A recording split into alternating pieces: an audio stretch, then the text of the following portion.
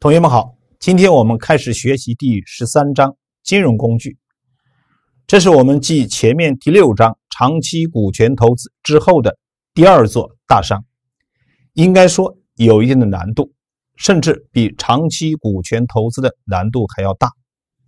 当然，有了前面长期股权投资的学习，相信大家有一定的抗压能力。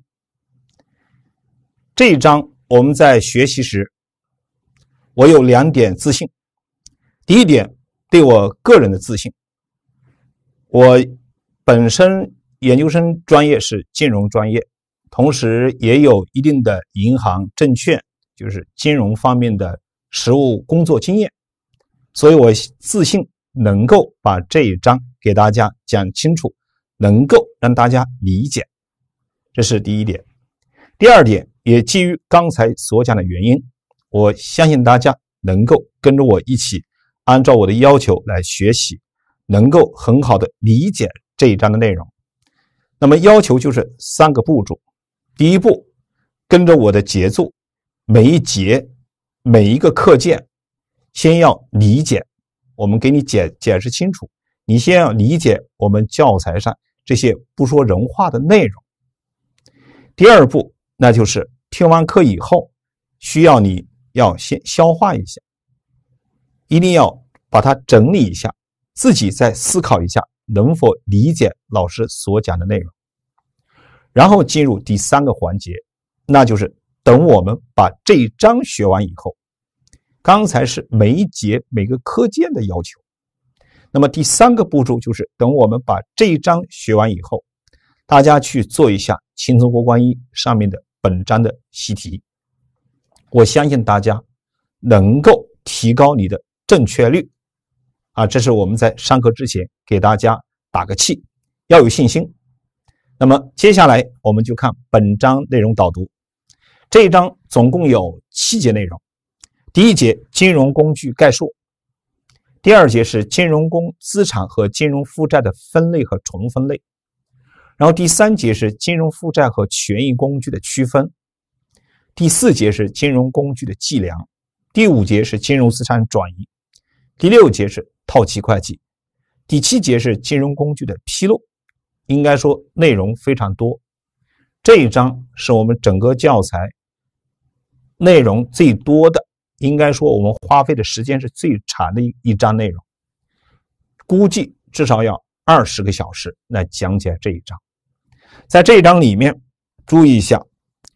第一节是是一些基本概念，然后第二节涉及到一些分类，也有一些基本概念。第三节比较抽象，这个第三节呢，在理解上有一定的难度，很多同学学到第三节学不下去了。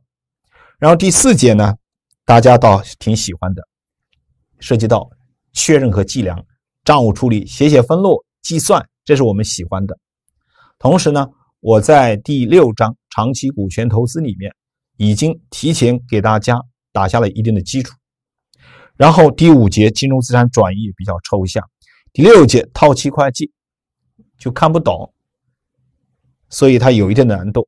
当然，我刚才已经说过了，我会结合我的实务工作经验啊，我以前在实务工作当中也做一些套期方面的内容，一经济业务啊，所以我们。利用这个实务的工作经验，结合教材的理论知识，会给大家说清楚的。然后第七节就做个了解，所以我们这一章的主要部分在前面六节。那下面呢，我们来看一下本章考情分析。本章属于全书的重点和难点的章节，这样下定义的章节不多。我们前面长期股权投资算一个。然后接下来就是金融工具要算一个，属于整个教材的重点难点的章节。这一章的主要考点包括这么几个方面：第一个是有关金融资产和金融负债的分类；第二个问题是金融负债和权益工具的区分。这一部分呢，就是说相对比较抽象。第三个是金融工具的初始计量和后续计量，这是我们比较熟熟悉的地方。第四个是金融资产的减值，这个比较重要。第五个是金融资产转移的会计处理，也是比较难理解的。第六个，那就是有关套期会计的内容，包括套期工具和被套期项目的相关账务处理。那么这一章最近三年考题题型，既涉及到客观题，也涉及到主观题，包括计算分析题、综合题都涉及到了，所以试题的分值占比呢比较大，因此我们这一章花费的时间要多一些。就二零二二年来讲，今年我们教材本章内容基本上没有什么大的变化。那么下面呢，我们就进入本章知识讲解。首先看第一节金融工具概述，在这一节里面讲两个问题。第一个问题是金融资产，第二个问题是衍生工具。大家重点掌握的是第一个金融资产，衍生工具这个概念呢做个了解。那下面呢，我们是来看一下什么叫金融工具。所谓金融工具，它是指形成一方的金融资产，并形成其他方的金融负债或权益工具的合同。首先定义为它是一项合同。那怎么理解刚才这句话呢？我们在这写一个板书，比如甲公司是投资方，乙公司是融资方。今天。乙公司向甲公司发行一般公司债券，那么对乙公司来说，形成一项金融负债；而对甲公司来说，他取得这一项债权了，这个债券对他来说，这个债券的投债券的投资，它是一项金融资产。所以，对照我们刚才的定义就好理解了：形成一方的金融资产，形成哪一方？甲公司。投资方，并形成其他方，其他方那就是乙公司，形成乙公司的金融负债，这样一个合同称之为叫金融工具，或者说乙公司通过发行股票来融资的。那么对甲公司来说，他取得这个股权作为一项金融资产，权益工具投资金融资产，而对乙公司来说，形成它的所有的权益。称之为叫权益工具，这个股票对他来说发行的普通股股票，称之为叫权益工具，所以也就形成甲公司一方的金融资产，并形成乙公司这一方的权益工具，这个经济业务，这个合同就称之为叫金融工具。所以金融工具是一个大的概念，具体来说包括金融资产、金融负债和权益工具三个名词。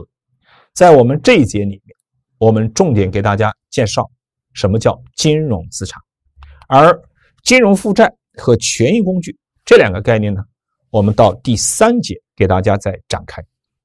那下面一个提示，我们一起来看一下。刚才我们讲了，金融工具它是一项合同，所以反过来说，非合同的资产和负债，那就不属于金融工具了。比如应交税费。应交所得税，应交所得税是按照所得税法的规定，企业应当承纳向国家交纳税收的这样一个义务，它是以税收法规为基础的，而不是以合同为基础的。而我们刚才讲金融工具，它是以合同为基础的，所以应交所得税它是不符合金融工具定义的，不属于金融工具。注意一下这一点，选择题的选项。好，那这个讲完以后呢，下面我们就看第一个问题：什么叫金融资产？其实，在第一节里面，我们重点就是掌握这个概念，或者说我们这个课件里面学完以后，你的关键问题就是理解什么叫金融资产。那下面我们一起来看一下。所谓金融资产，是指企业所持有的现金，这是一种情况；其他方的权益工具，这是第二种情况，以及符合下列条件之一的资产。所以从这里面可以看出，金融资产主要包括三块：第一块现金，这个现金是一个广义的概念，我把它第一部分就 A 吧，它是一个广义的概念。包括库存现金，包括银行存款，包括其他货币资金。所以，请大家注意，银行存款那就属于企业的金融资产。第二是，我把它取名叫 B 这一部分，其他方的权益工具。甲公司持有乙公司的股权，那就是权益工具；持有其他方的权益工具，站在持有方来说，属于金融资产。这两个好理解，关键是第三部分，我把它取名叫 C，符合下列条件之一的资产有哪一些呢？下面四个条件，只要符合其中一条，都属于金融资产。那下面我们重点是讲这四条条件。第一个，从其他方收取现金或其他金融资产的合同权利。注意，收取合同的权利，比如甲公司向乙公司赊销商品，形成一项债权，这项债权将来要从乙公司收取现金或其他金融资产，所以对甲公司来说，这一笔应收账款。那就形成企业的金融资产。同理，应收票据也是如此。另外还有一个名词，我们书上提到贷款，这个解释一下。我们一般理解贷款，那不是负债吗？注意，我们这儿所讲的贷款是站在金融企业的角度，比如商业银行的角度，商业银行将资金贷款给。一般的工商企业，那么对商业银行来说，形成一项债权，将来要从工商企业收取现金或其他金融资产的这样一个合同权利。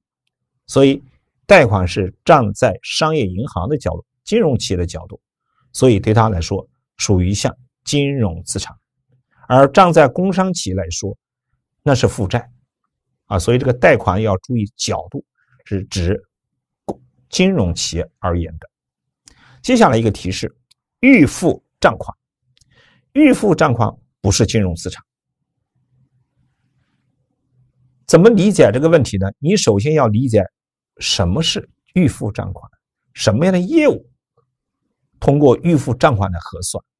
比如，企业要购买原材料，要预付一笔定金，预付一笔定金，或者说。企业购买固定资产，人家要求我们先要提前支付百分之十的定金预付款，所以我们通过预付账款的核算。那么问题就来了，我们比如说整个款项是一百万，我们先预付百分之二十，二十万。那这个二十万预付以后，将来给我们它是一项资产，没错，预付账款。对我们企业来说是一项资产，没有错。那对我们来说，该项资产未来所带来的经济利益，什么样的形式，什么样的方式呢？那是将来对方履行义务，向我们交付商品，或者说向我们交付固定资产设备。因此，请大家注意，该资产给企业所带来的未来的经济利益，它是商品或者服务。而不是收取现金或其他其他金融资产，因此呢，预付账款它不属于金融资产的内容啊，这一点请大家注意一下，不符合我们这个条件，其他条件也不满足。接下来我们再看第二个条件，在潜在有利条件下，与其他方交换金融资产或金融负债的合同权利，比如企业持有的。看涨期权或者看跌期权，这个比较抽象了。咱们有同学看书呢很难理解，所以我这一块呢，知道大家啊难理解的内容在哪儿，难理解的地方，我编个小题目，举个例子给大家解释。我们结合这个例题，带着问题去理解，那就好办了。那下面呢，我们再来看一下，在这儿给大家举了个例子，编个例题来说一下。二零二二年三月三十一号，甲公司与乙公司签订六个月后结算的期权合同。合同规定，甲公司以每股零点五元的期权费购入六个月后执行价格为十二元的丙公司股票的看涨期权。今天丙公司的股票价格为十一元，六个月以后，如果丙公司股票的价格高于十二元，那么对甲公司有利，他将会行使该项权利。什么意思呢？说白了，就是甲公司和乙公司这两个人啊，签订一个对赌协议，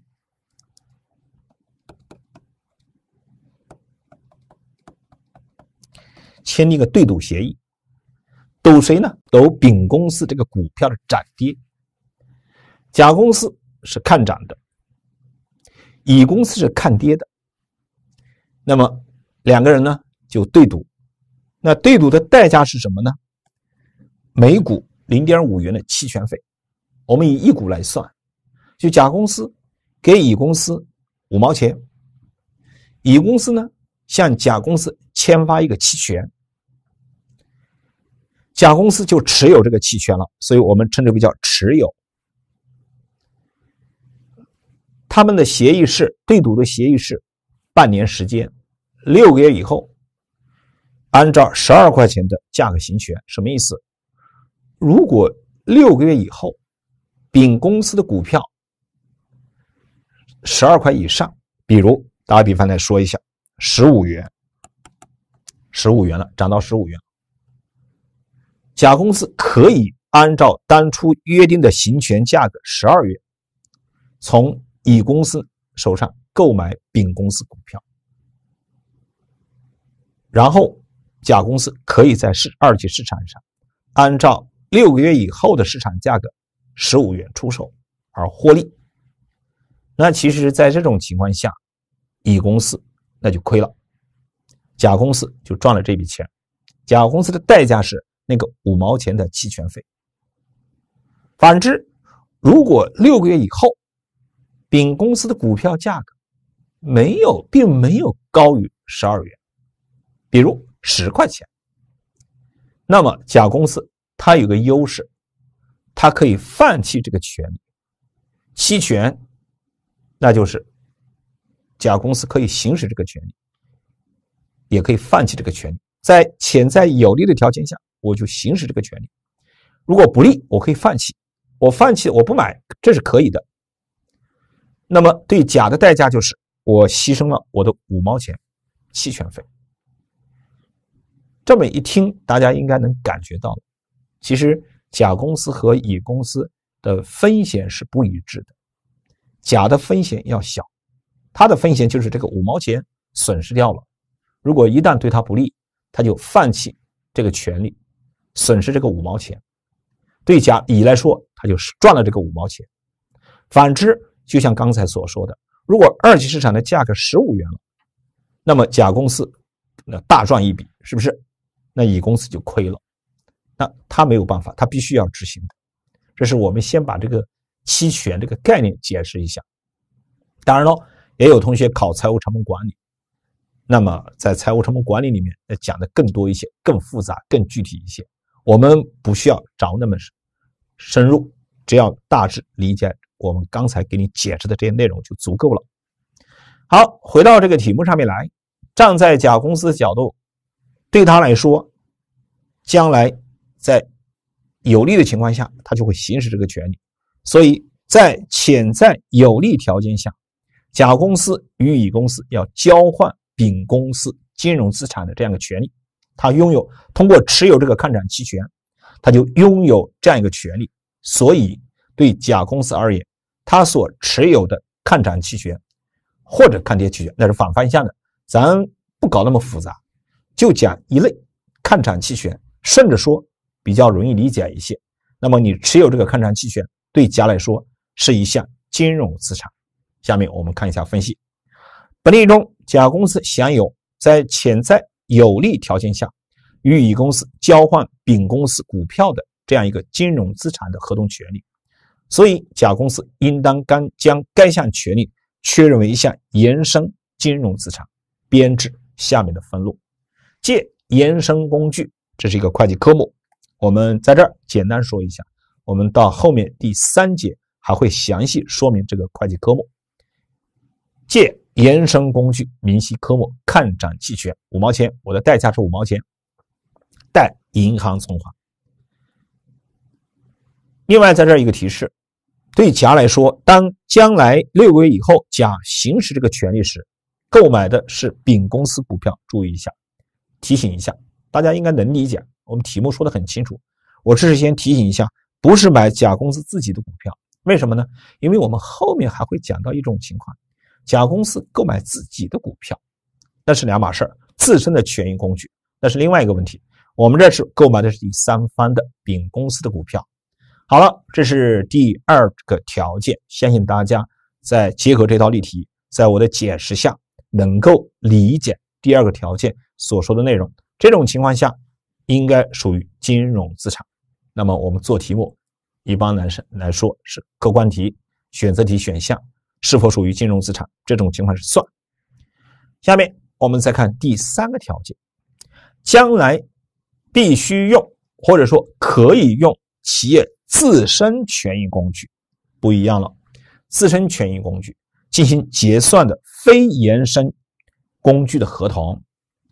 什么是非延伸呢？金融工具有基础金融工具，也就是非延伸工具，还有是延伸金融工具之分。这个咱们有的同学学财务成本管理会讲到这一些，包括咱们有的同学考过中级会计职称。呃，学过财务管理的，财务管理里面也介绍过一些基础知识，关于金融工具的一些分类，分为基础的金融工具和延伸金融工具。那么，基础金融工具，比如说像股票、债券，这些都是基础的金融工具，也就是我们这儿所说的非延伸金融工具。那么，回到这个问题上面来。企业将来必须用，或者说可以用企业自身的权益工具进行结算，这样一个非延伸工具合同，而且，而且，跟企业根据该合同将来是收到可变数量的可变数量的自身权益工具，怎么理解这个问题？我们也是结合例题，因为我们教材上就是文字，没有解释，很抽象的。所以这一章为什么有的同学在学的时候很抽象呢？就是因为书上没有展开。那么我们在课堂上给大家补充一些例题。那下面我们看一道题：甲公司为上市公司，二零二二年四月一号，甲公司为回购其普通股股票，与乙公司签订股票回购合同。首先，请大家注意，甲公司回购的是其自身的。权益工具对照上面，那就对了。回购的是自己的股票，然后与乙公司签订股票回购合同。股票回购合同，我刚才说了，股票属于基础金融工具，也就是非延伸工具，所以股票回购合同也就是一项非延伸工具合同，并向乙公司支付了一千万现金。他要购买这个股票，购买自身的股票。合同约定，乙公司将于六个月以后，九月三十号向乙公司交付。注意，交付什么呢？与一千万元等值的普通股股票。它是以一千万元等值的甲公司的股票来进行交付结算的。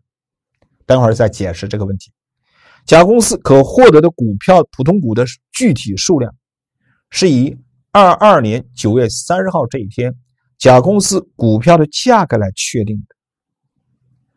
这个金额是以九月三十号股票价格来确定数量，来确定交交付的数量。好，那这道题里面，我们首先看出一点：甲公司和乙公司签订了一项什么合同？股票回购合同。属于非延伸工具合同，没问题。第二，这个合同回购是回购甲公司自己的股票，所以将来是用企业自身的权益工具进行结算的这么一个非延伸工具。关键问题是，企业将来收到的自身的权益工具的数量是可变的，是可变的，不是固定的数量。那怎么理解这个问题呢？下面要给大家解释这一千万元等值怎么去理解，它是可变的数量。我给大家这样的举例子说，比如九月三十号这一天，甲公司的股票价格是十块钱，是十块钱。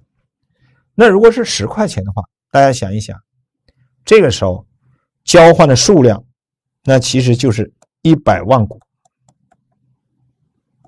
一百万股，一千万元除以十，是吧？那反过来说，如果九月三十号这一天的股票价格是二十元，是二十元，那么这个时候交付的数量就变成什么了？五十万股了。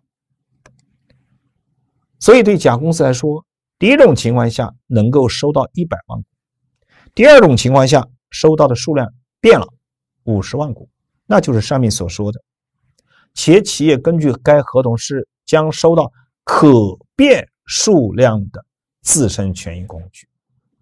如果是这样的话，对甲来说，今天该项合同形成一项金融资产。那下面我们来看一下分析。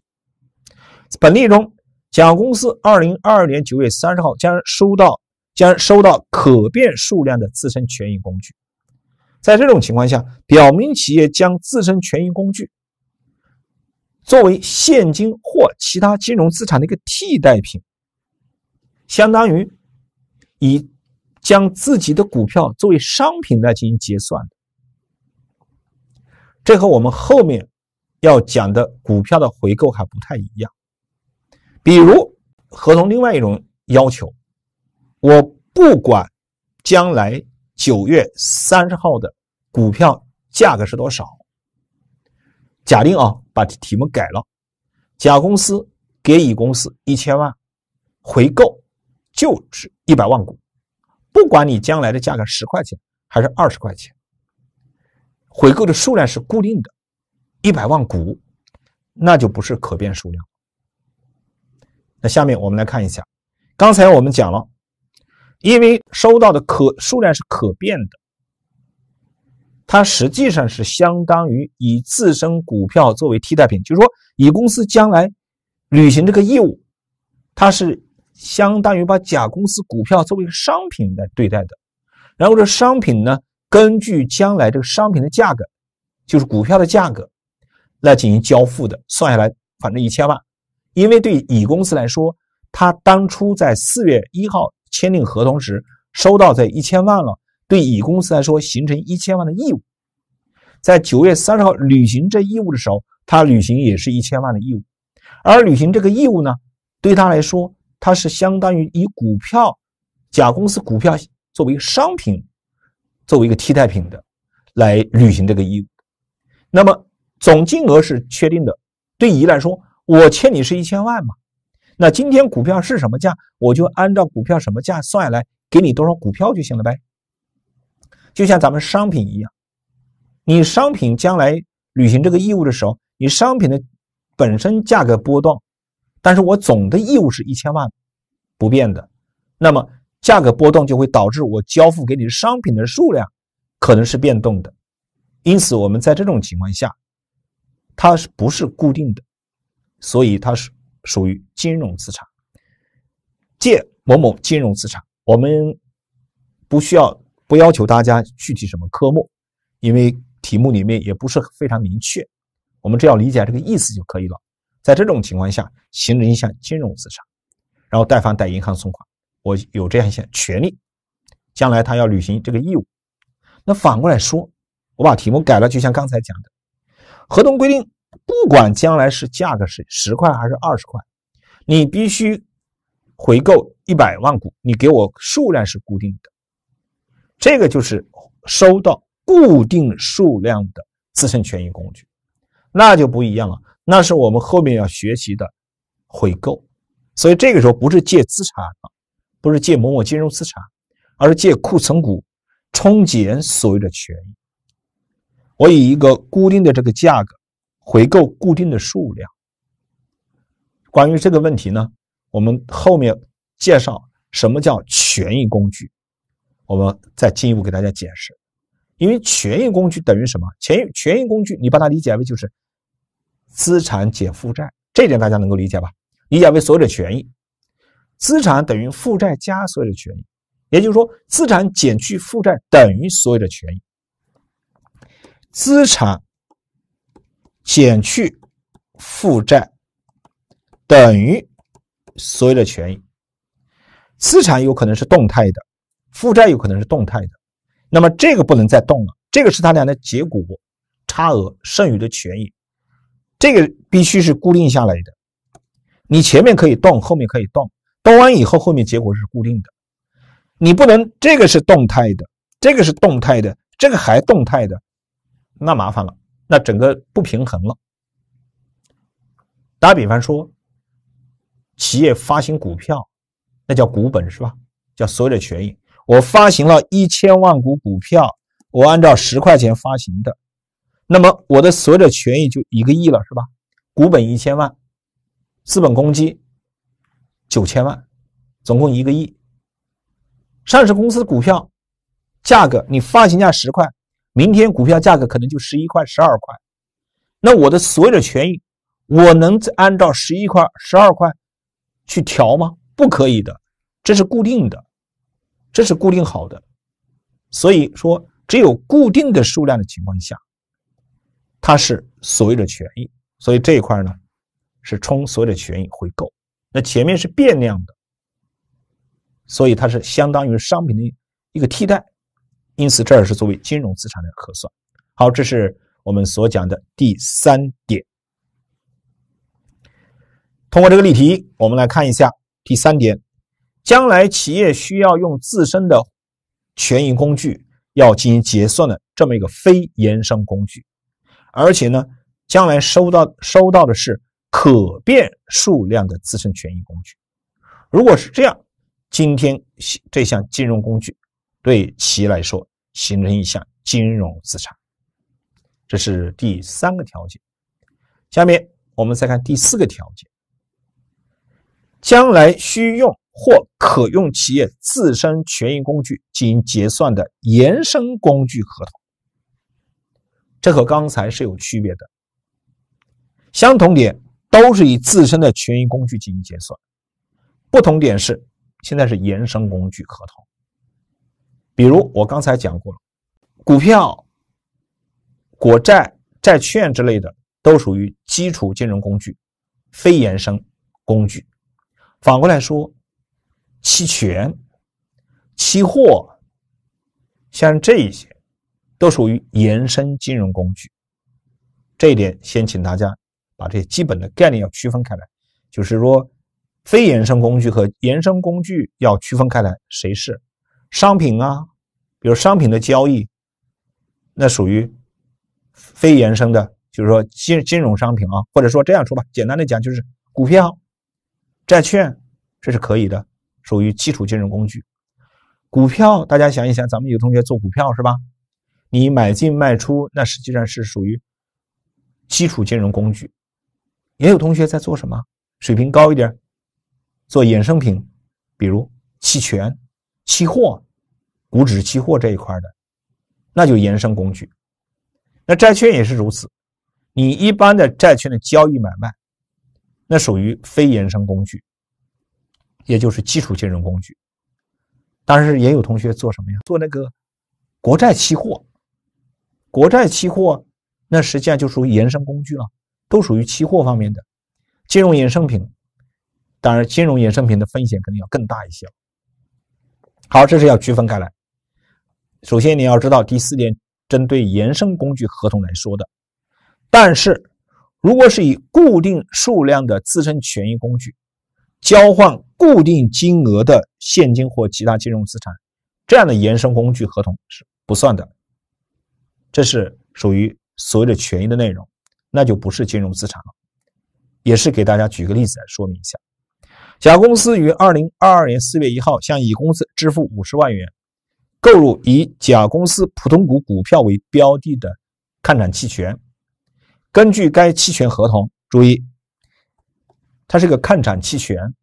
是个期权合同，那期权合同其实就是我们刚才所讲的衍生工具合同。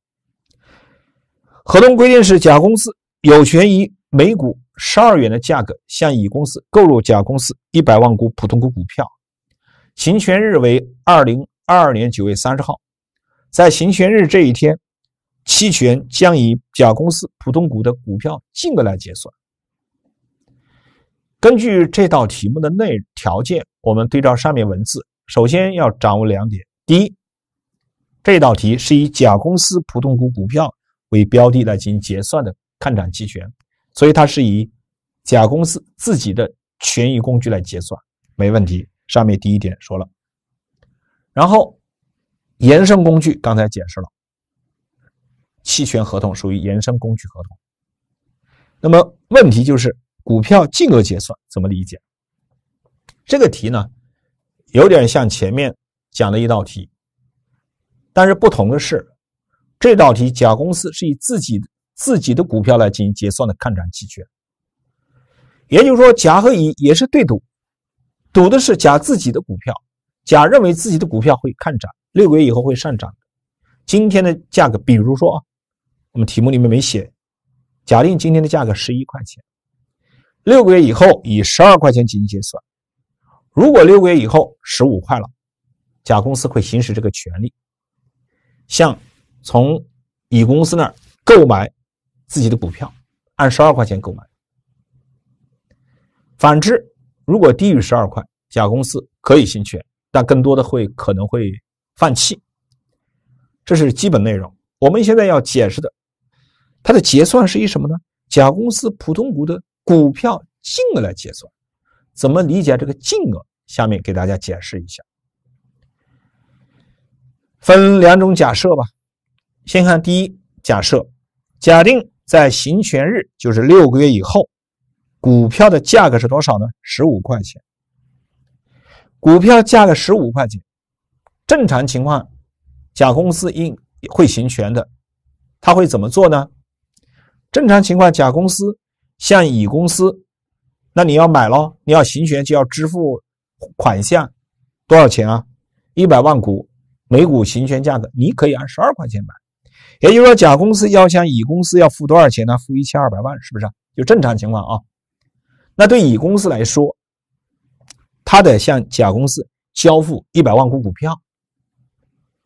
那乙公司，那就他就需要从二级市场上去购买这个股票，一百万股，按照什么价？按照十五块钱去购买。但是呢，因为甲公司会向乙公司支付一千二百万。所以，这个一千二百万，乙公司不用自己再出钱了，甲公司会付给他的。所以，这个一千二百万，按照十五块钱去买，能买能多少股呢？八十万股，一千二百万。也就是说，乙公司自个儿只要再拿多少钱出来？三百万，另外再买二百二十万股就可以了，凑起来不就是一百万股吗？就一正常情况下。乙公司是这样操作的：我去买股票给你，那么你要给我一一千二百万，那么这个钱我我可以直接利用甲公司这笔资金了。对乙来说，我只要单独再拿个三百万就可以了。但是今天甲公司和乙公司他俩的约定是什么呢？以股票金额来结算，什么意思呢？乙乙和甲的商量。甲说：“我也不要给你一千二百万现金了，折腾来折腾去的，你这部分的股票你不要给我了，你就把另外那个二十万股给我。那这就是叫股票净额来结算，你给我二十万股股票就行了。甲拿了二十万股股票，如果想兑现，直接在二级市场十五块出售，赚了三百万呗。对他来说，他对赌赌赢了呀。”赚了三百万呀，他可以兑现，那就行了。好，这是一种情况。下面再看第二种情形，假定是二十块钱，行权日这一天，普通股股票价格是二十块钱，还是像刚才一样，正常情况下，甲公司是要向乙公司支付一千二百万行权，然后乙公司那就需要从二级市场上去购买股票一百万股喽。同样的道理，这个部分六十万股不用去购买了，不用单独再花钱了，甲公司会给他一千二百万的。对乙公司来说，他为了凑齐整个一百万股，一百万股，他另外再买一个多少？再买一个四十万股，价格是市场价，行权市场价是二十，所以他再拿个八百万。就可以了。那么整体呢，就构成了一百万股。本来正常情况下，你给我钱，我给你股票就 OK。现在因为他俩约定是以股票金额来结算，像刚才一样的道理。这个六十万，甲跟乙说，这个六十万你不用给我了，我给你一千二百万现金，你给我价值一千二百万的股票，那就免了，我们俩两免了。你要给我的是这一部分，你给我四十万股股票就行了。这就叫以股票金额来结算。好了，那如果是这样的话，对甲公司来说，形成了一项金融资产，因为它这个数量是可变的。在十块钱的情况下，甲收到多少？二十万股。在二十块钱的情况下，甲收到的是四十万股股票，可变数量的。因此，对甲来说，形成一项金融资产。我们看一下分析。本例中，期权合同属于将来需用自身的权益工具进行结算的衍生工具合同。由于合同约定以甲公司的普通股股票净额进行结算，这样一个期权的公允价值，而并不是按照十二块钱结算全额的一百万股，所以它不属于固定换固定，不属于以固定数量的自身权益工具交换。固定金额的现金，不是一百万股换一百一千万现金，不是这样的。所以这是一项衍生工具，衍生金融资产。那么与刚才前面相比，假如说他俩约定，不管你将来股票是什么，十二块钱啊，十二块钱啊，这是一千二百万。一千二百万一一百万股，一千二百万，不管将来股票价格是十块、十五块、十二是二十块，我们都是以一千二百万和一百万股股票进行交换，那就是刚才所说的固定换固定了，这个除外，否则对甲来说，那实际上就是一项金融资产。好，这是结合这道例题啊，给它分两种情况，给大家分析了一下。那么下面我们一起来看一下分录。甲来说是一项金融资产，借衍生工具看涨期权五十万，贷银行存款五十万。所以甲公司在它的资产负债表上，对这一项衍生工具看涨期权在列示的时候，作为一项金融资产列示。好，这就是给大家分析了一下。第四种情况啊，第四种情况，那么符合刚才我们所讲的四个条件之一的，属于金融资产的内容。好，那么这个讲完以后呢，接下来我们给大家归纳一下，整个金融资产定义。刚才说，包括企业持有的现金、其他方的权益工具。以及符合下列四个条件之一的金融资产，这是三个大部分，A、B、C 三大部分，对吧？这刚才已经讲过了。